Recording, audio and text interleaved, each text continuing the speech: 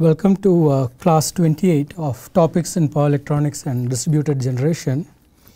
Uh, we have been uh, uh looking at uh, the common mode and differential mode analysis of uh, power converter and the differential mode signals are quite important because they are primarily responsible for power transfer. So, the basic purpose for operating the power converter is power transfer so, the study of the differential mode operation of it is uh, important part. The common mode signals are important when you are looking at uh, uh, other perspectives such as uh, circulating possibility for circulating currents in the converter, uh, possibility the EMI characteristics EMI perspective of the power converter uh, the other thing we saw in the last class is that uh, the common mode and differential mode analysis can be performed on a uh, on using both the switching model and the averaging model average model. And uh, if you look uh, look at a single phase inverter so this is a single phase two leg converter. Earlier we had looked at a single phase center tap capacitor converter so, you could look at it from the common mode and differential mode analysis and look at what uh, how the these circuits would behave. In particular for the two leg converter we looked at uh, a, mo a, modulation method where you are, you are switching both legs of the power converter because now you have two legs there are a lot of possibilities for the way in which you could now have PWM uh, Uh, on the two legs. Uh, the method that we looked at uh, the, uh, the, modulation method 1 uh, where we had the duty cycle for leg A and duty cycle for leg B to be symmetric around 0.5 and if you look at the, the DA and DB essentially they are symmetric around 0.5 and the characteristics that we saw is effectively the output frequency uh, is doubled. So, you have two pulses coming in the output uh, for during every switching period.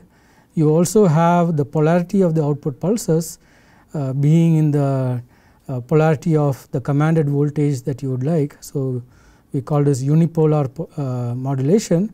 If you have pulses of both polarity coming during the operation that would be bipolar modulation. We will look at a couple of uh, other possibilities for, uh, uh, for the way in which you could modulate the power converter. Here both legs are switching. Uh, one possible method for modulating the power converter could be that uh, you could switch say leg A at high frequencies. When you want to get a positive output voltage, uh, you could say you could uh, you could turn on uh, say uh, this particular device. So, if this particular device is on like B would be connected to the negative DC bus. So, using VDC you could synthesize a positive voltage. Uh, if you want to synthesize a negative voltage you could turn on this particular leg and and uh, switch the leg A so, because now leg B is connected to positive you have minus VDC and uh, by appropriately switching leg A you could synthesize a negative uh, polarity output voltage. So, you could do this by considering signals. So, we will consider uh, a modulation method 2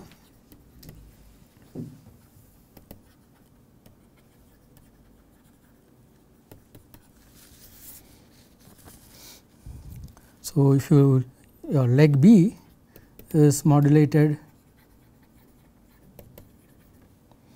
at the fundamental frequency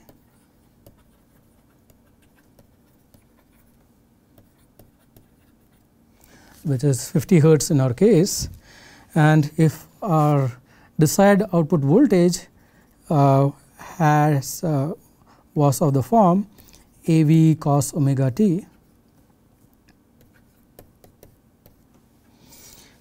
then essentially what we would have is dB could be a signal which would be 0 if VO star is positive and 1 if VO star is uh, negative. Uh, so, if you look at uh, the switching signals, the switching functions for leg B, your SB, SB plus would be a signal of the form uh, 1 if VO star is less than 0 and 0 otherwise. So, essentially your leg B is switching at fundamental frequency and leg A is switching at the carrier frequency.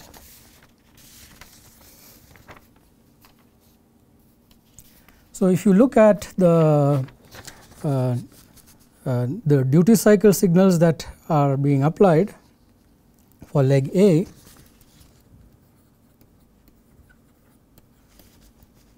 we have d A is equal to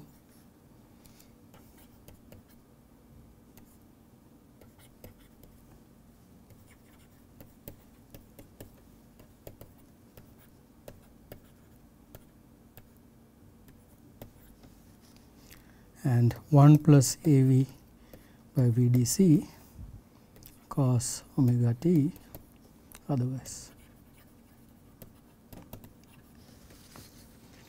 Again uh, your leg B uh, uh, the d b was going between 0 and plus 1 with not taking any values in between whereas now d a is having a value which goes between uh, depending on the polarity of your output voltage that you would like to synthesize it takes on signals. Uh, so, because your dA is now a continuous uh, a signal between 0 and 1 your SA plus switching function uh, transitions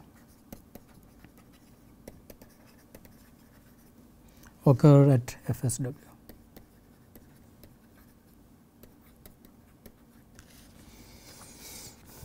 If you look at uh, uh, VAB on a differential mode, uh, essentially the output uh, signals will have uh,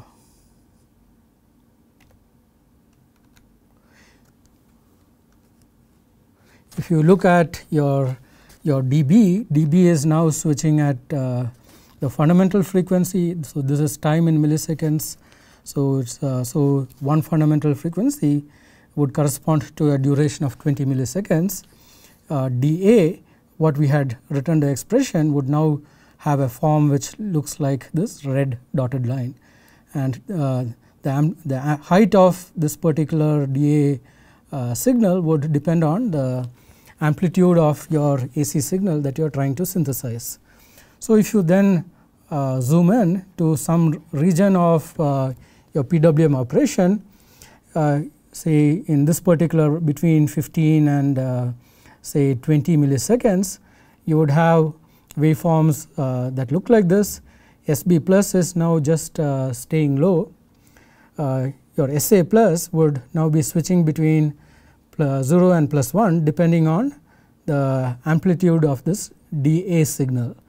And you can see that your effective output frequency is now FSW so, you lose the advantage of 2 FSW that you had in the previous modulation case. You have now your effective output switching frequency which, uh, uh, which is at uh, FSW rather than 2 FSW. If you so if you, you can actually write an expression for V uh, differential mode of your output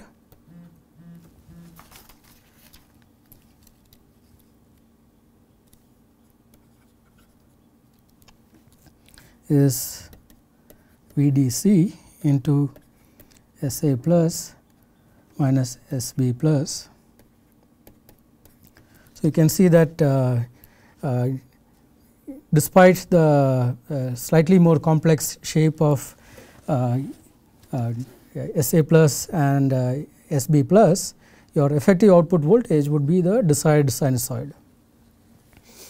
If you look at your common mode signals that we had, we, we wrote an expression for V common mode of your input which was VDC into half minus SB plus. So, you can see that now because your SB plus has a shape uh, uh, uh, it is 0 in the regions say 0 to 5 seconds it would be high between 5 and 15 your SB plus function is now uh, switching at the fundamental frequency. So, if you look at your common mode signal that is coming in your output you are jumping between plus VDC by 2 and minus VDC by 2 at your fundamental frequency which is much lower than your uh, switching frequency which means that your uh, high frequency transitions which would cause uh, spikes of current to flow into the ground is occurring at a much lower repetition rate.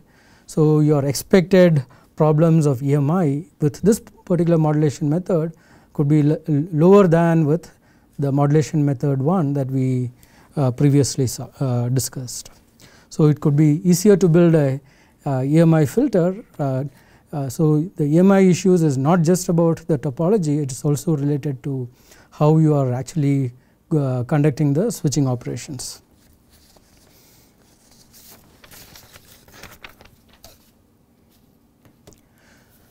So, if you now look at uh, the option that we had uh, looked at, we were uh, switching leg B at uh, the fundamental uh, frequency and we switched leg A at high frequency.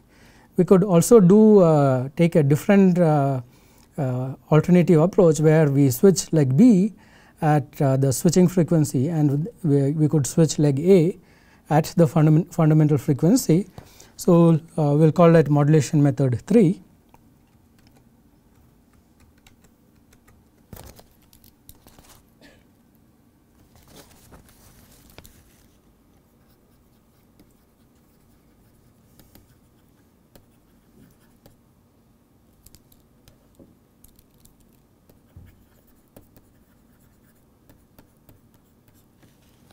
where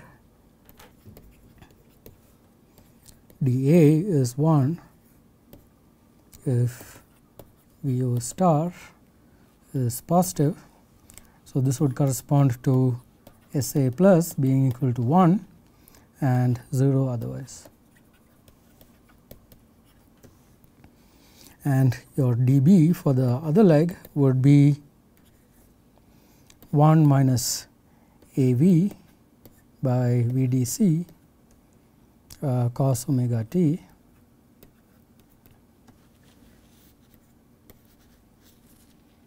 If u star positive or minus a v.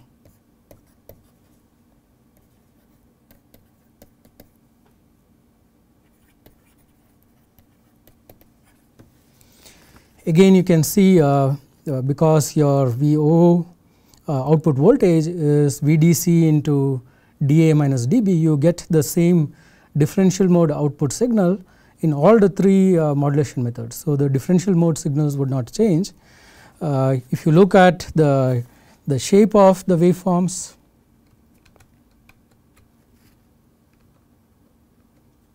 in the modulation method 3, you can see that now dA is now switching at uh, the fundamental frequency and dB is now having a value which lies in between uh, 0 and plus 1 which means that dB will be switching at higher frequencies. Uh, so, SB plus is the one which is switching and SA plus is now staying uh, at 0 say if you are looking at maybe a zoomed in region around there it would correspond to waveforms that has been drawn below. If you look at your common mode signal in this particular case, we, we can we, we have VCM of your input is VDC into half minus SB plus. In this case we can see that uh, your input would see high frequency on the common mode. So, we have problems with the, the high frequency on uh, your input side you also have now only uh, uh, FSW as your output equivalent switching frequency which means that we lost the advantage of 2 FSW. So, we can see that uh, this so your differential mode signals VDM out is still the same VDC into SA plus minus SB plus. So, your output switching frequency is still at uh, uh, FSW. So, modulation method 3 is poor from both the input and output perspective. So, you uh, by not being careful about which leg you are switching at the appropriate rate, you could end up with uh, uh, exacerbating the problems that you are facing in your power converter uh, without getting any advantage either at the input or at the output. So, one thing that uh, also to keep in mind is that uh, we were looking at it at the operation of this power converter from the input and output voltage waveform basis. Another important factor to keep in mind is how these legs of the power converter would operate on a thermal basis. If you are switching say one leg at FSW at the carrier frequency and the other leg at fundamental frequency, it means that one leg is having higher losses and the other leg is having lower losses. So, from a thermal loading perspective, the temperature rise on one leg would be more and uh, uh, compared to the other leg. So, if you are using a H bridge module, you may not be fully utilizing your semiconductors. So, you will have to look at all the factors in mind depend uh, to look at uh, what are the advantages and disadvantages of one particular topology or one particular method of uh, uh, op operating your switches in a power converter. So, now that we have uh, uh, looked at this two leg power converter, we could ask a similar question as we did for our uh, center tapped capacitor topology of uh, what would be the, the, the design issues behind uh, the DC bus capacitor for this particular topology, how does it compare with the center tapped capacitor topology.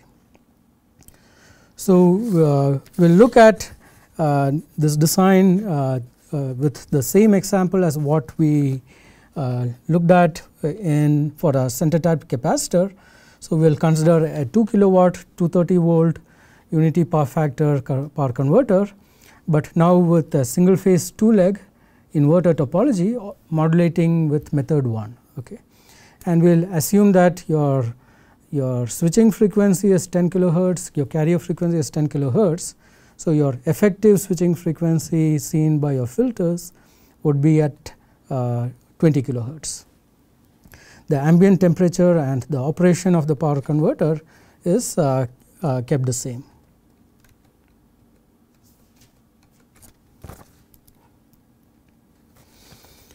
So, we know that uh, from our average model for the power converter VAB is dA minus dB times VDC and uh, uh, dA is uh, half plus m cos omega t by 2 dB is uh, uh, again symmetric about the 0.5 point. So, VAB can be written as m VDC cos omega t and uh, if we are trying to synthesize a 230 volt uh, AC output, you are talking about VDC of the order of 325 volt for VO is 230 volts uh, RMS. Again we have to consider factors such as the uh, grid voltage variation, uh, deadband, on state drops in the devices etc. So, we will consider 5 percent for VAC variation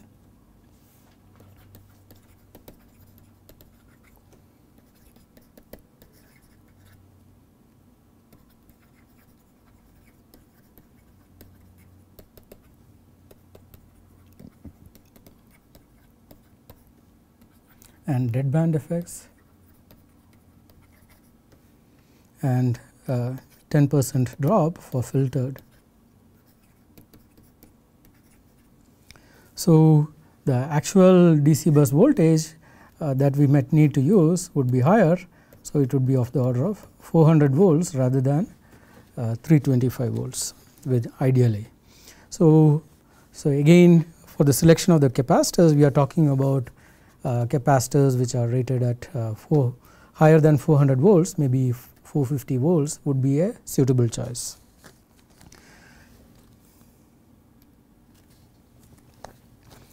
So, we will consider uh, uh,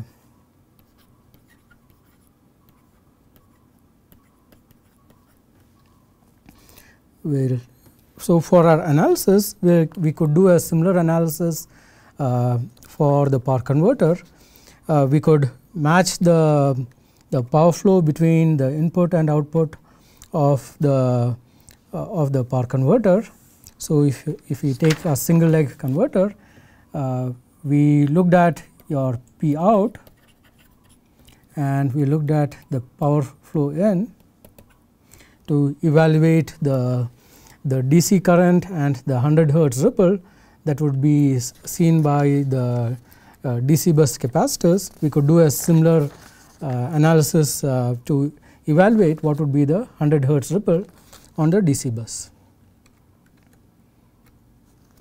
So, we have VDC times IP of T which is the positive DC bus current we will call it IDCP.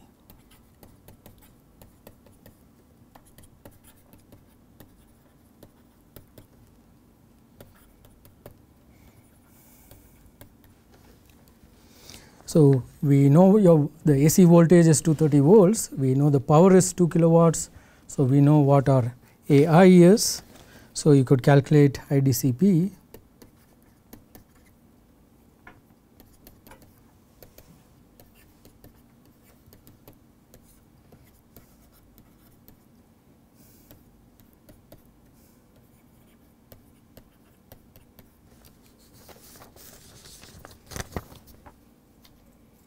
So, there is a uh, DC current that flows through at which has a value of AV AI by 2 VDC and there is a 100 hertz component that is flowing through which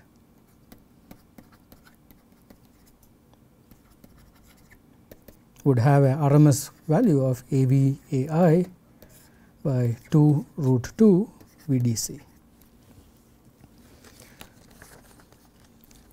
So, the next component that we would uh, we would like to evaluate for this particular power converter is uh, uh, due to the switching operation what is the high frequency components that now flow through the DC bus capacitor and you could evaluate the high frequency components by looking again at the switching functions. So, if you have SA plus to have a shape such as this and SB plus to have a shape such as this and you have your I out when SA plus is uh, uh, wider than SB plus then this particular point uh, this region in between uh, the width of this region would be equal to dA times uh, Ts and the width of this particular duration is dB times TSW TSW and then you could calculate what is the average of this particular uh, uh, DC bus uh, positive current and what is the RMS value, your average current would then be equal to is I out to dA minus dB.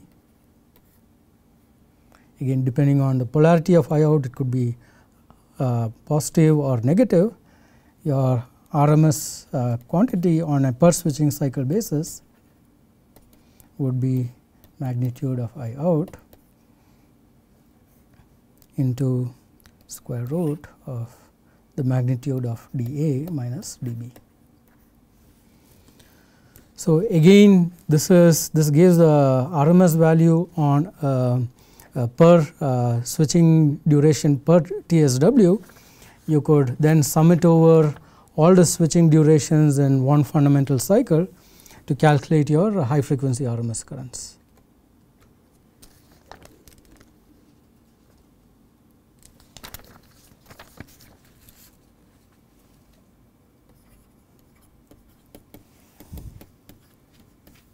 For a switching frequency of 10 kilohertz and uh, your TSW is 100 microseconds and F, your fundamental frequency is 50 hertz. So, you have number of points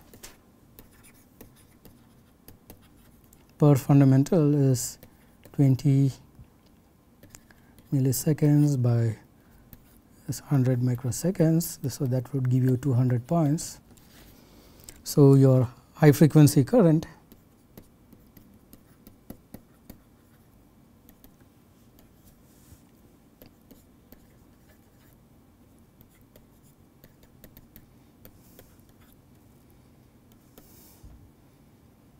So, this is I out of NTS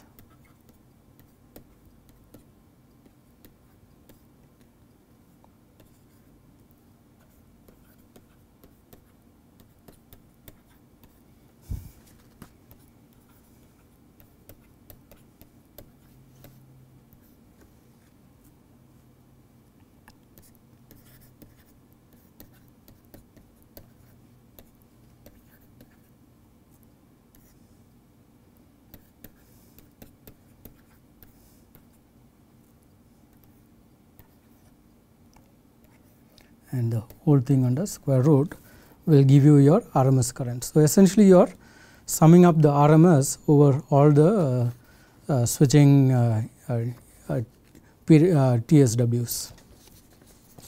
So, we could then ask a similar question as what we did for our uh, DC bus capacitor midpoint topology of what is the RMS currents, what would be the voltage ripple, what would be the the power dissipation, temperature rise, the number of capacitors you need to uh, place in parallel and we could then uh, for the particular uh, this particular example we will consider the same capacitor as what we considered for the uh, for the uh, previous topology. So, we will uh, assume a 450 volt 150 microfarad capacitor with the given ESR of 0.8 ohms at uh, 100 kilohertz, uh, we will assume the data to be uh, is the same as what we had the previous time.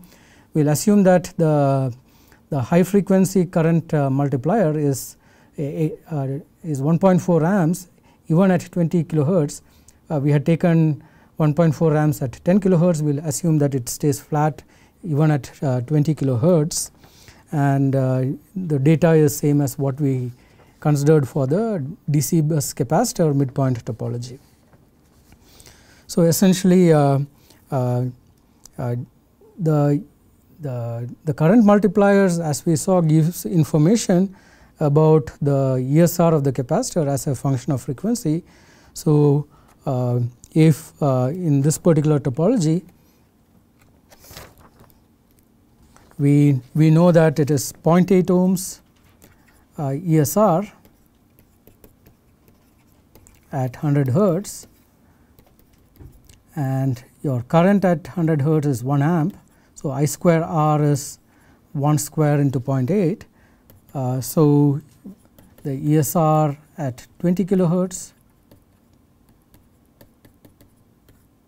into 1.4 amps square one would be able to calculate the ESR which uh, so, this turns out to have a value of 0.41 ohms.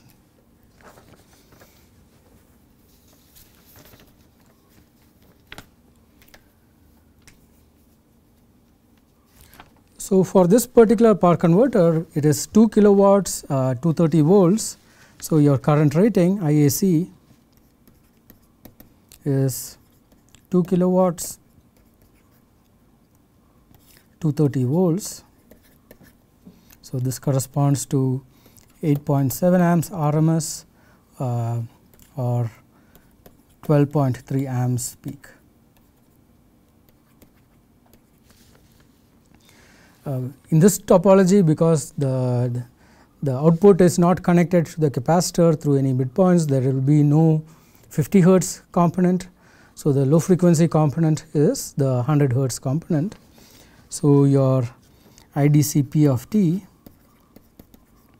is now uh, 1 by 400 which is your DC bus voltage into 230 root 2 cos omega t into 12.3 which is the current cos omega t uh, assuming unity power factor of operation. So, your IDC, uh, IDC average DC current is 5 amps and your IDC P at uh, 100 hertz is uh, 5 amps peak which would correspond to 3.54 amps RMS. So, to evaluate your high frequency component of the current, uh, we will uh, we can calculate it in a similar manner as what we have just discussed. Uh,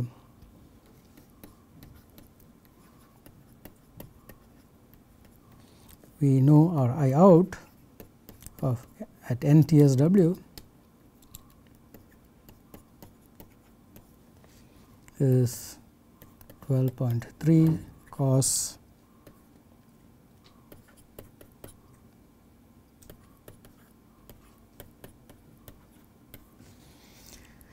and we are using modulation method 1. So, dA of NTS is 0.5 plus your output voltage is uh, having a peak value of uh, uh, 230 root 2. So, this is 325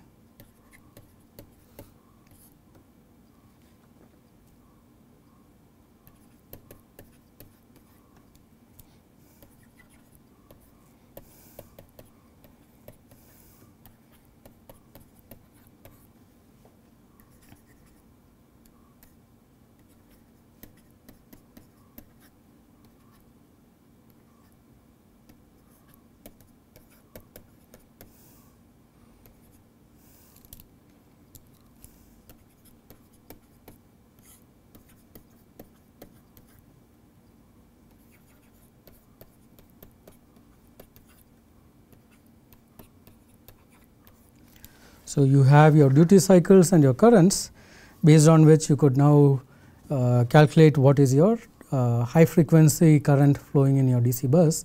Uh, that current now would be 2 pulses uh, per uh, uh, TSW. So, you are having your DC bus current also now at 20 kilohertz and its side bands and harmonics. So, based on the expression that we had just uh, uh, written previously, you could calculate your ICDC at 20 kilohertz is 3.83 amps. So, if you look at your total RMS current flowing through the capacitor, it would now be your 100 hertz component plus your uh, 20 kilohertz component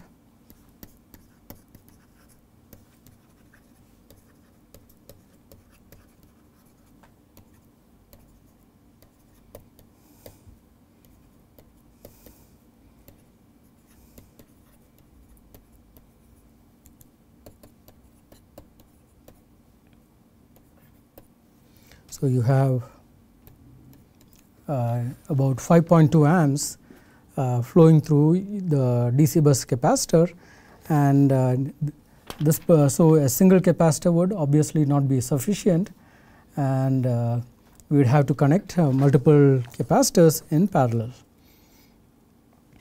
So, so if you look at the ESR numbers, uh, the ESR at 100 hertz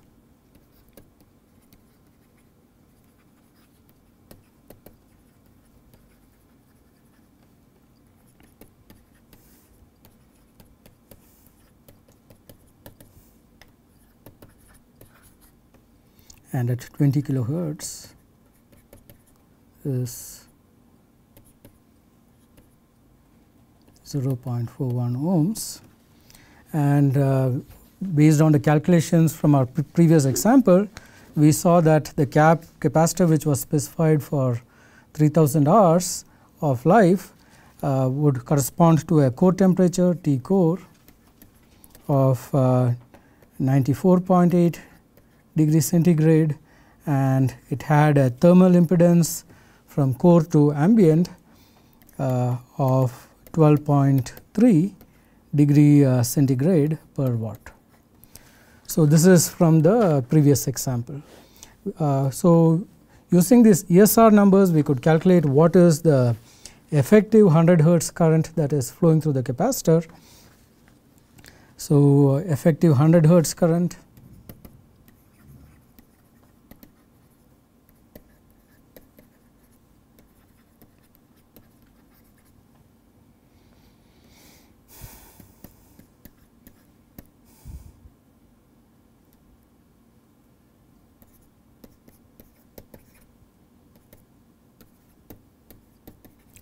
3.54 is the 100 hertz ripple plus uh, 3.83 is the switching frequency ripple. So, so your I 100 is 4.47 amps. So, from a thermal perspective we had seen again from the data sheet that if we have about 2 amps per capacitor and it is operating at an ambient of 55 degrees centigrade you can expect about 3000 hours of life. Uh, so, if we can make use of this number by taking the 2 amps per capacitor uh, uh, as the as a design guideline we would need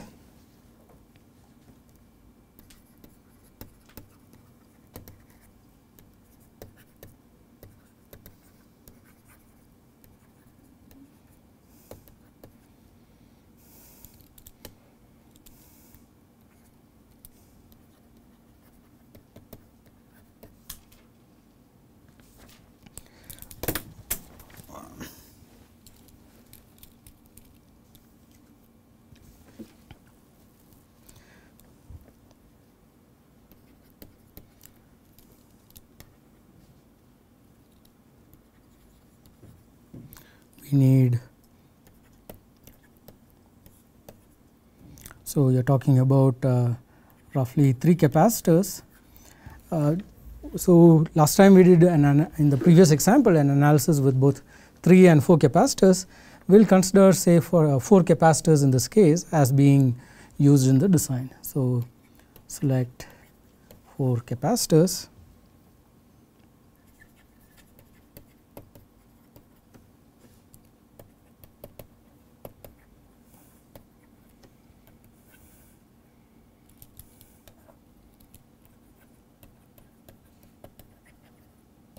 example.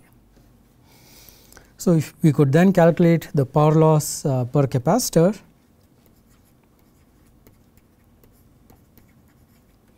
So, this is 0.8 into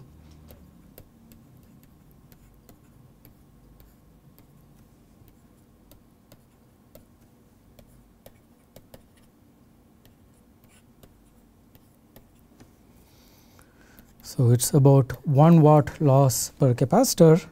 Uh, so, 4 capacitors in parallel we are talking about 4 watts uh, loss in the bank. Your core temperature for the capacitor is 50 into 50 plus 50 is the ambient within the cabinet plus 1 watt loss per capacitor into 12.3 which is the thermal impedance uh, degrees per watt. So, you have a core temperature of 62.3 degrees centigrade and again assuming the simple thermal uh, lifetime model you are considering 3000 into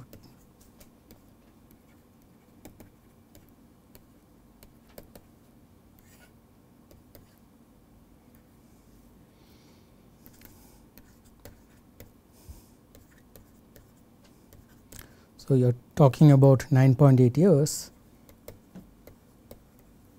uh, compared to about four and a half years for the other uh, uh in the previous example. Uh, we could also calculate the voltage ripple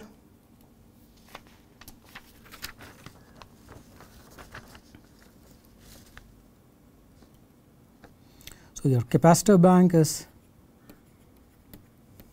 is 4 capacitors in parallel 150 microfarads. So, this is 600 microfarads.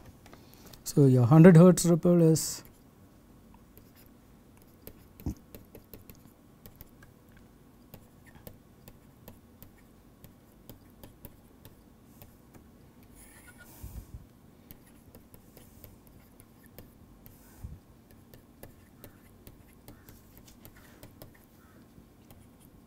So, you have about 13.3 volts as your 100 hertz ripple uh, and then you could look at what is the ripple at uh, 20 kilohertz.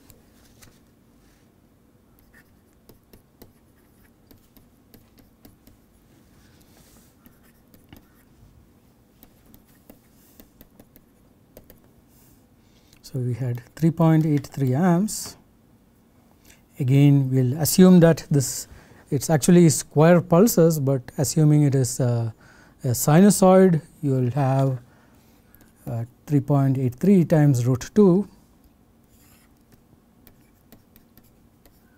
These are all simplifications to get an estimate of what the ripple is.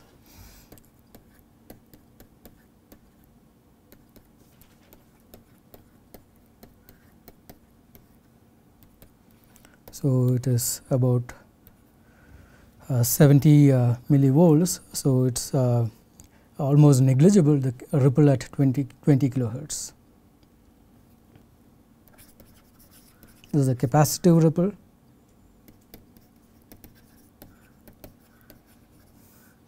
If you look at the ripple because of the ESR,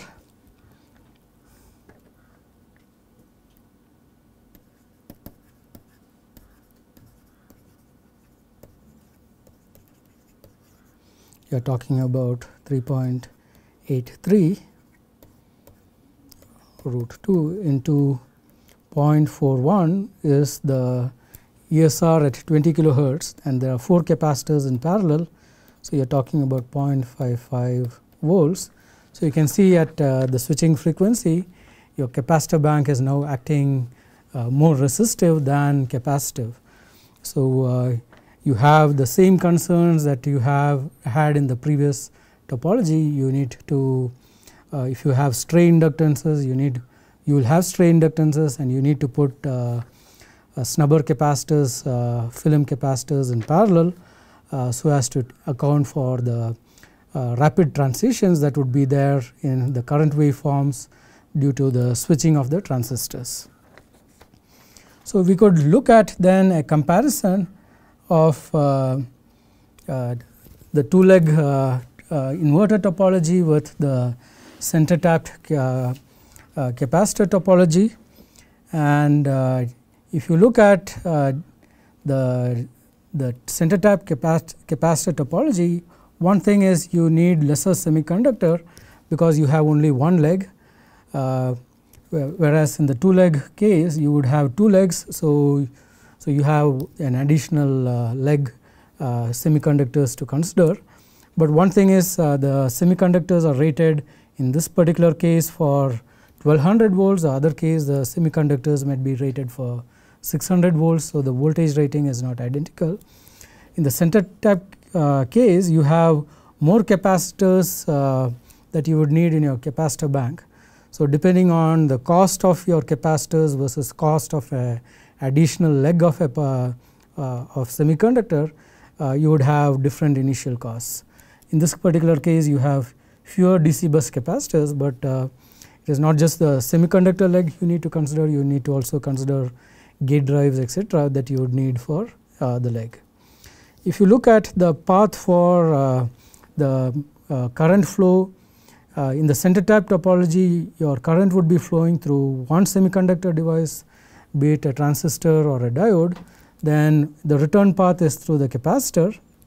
So, you have losses due to the drops in those paths which could be the conduction drop and the drops in the ESR uh, of the capacitor.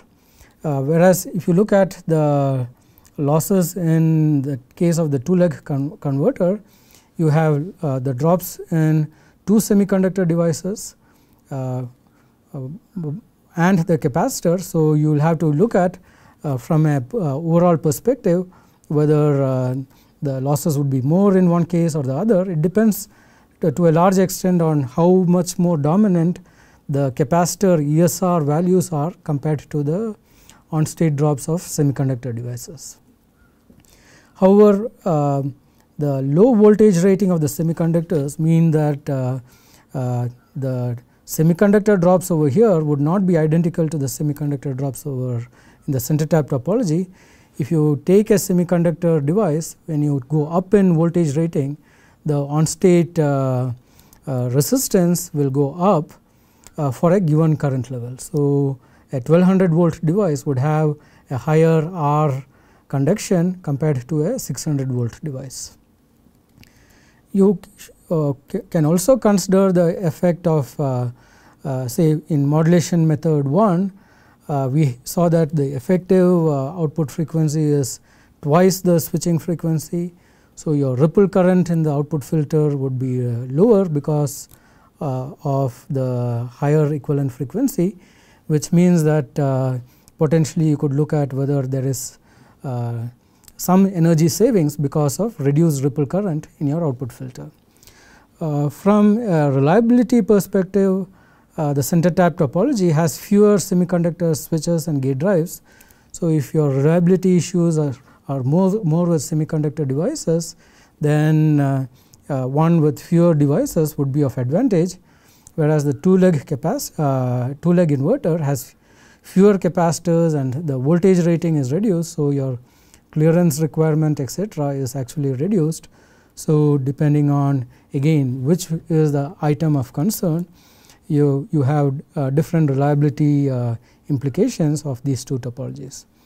Also other factors performance factors uh, we also we saw that in one case you have bipolar PWM in one case you have unipolar PWM also the switching frequency is effectively doubled in modulation method 1.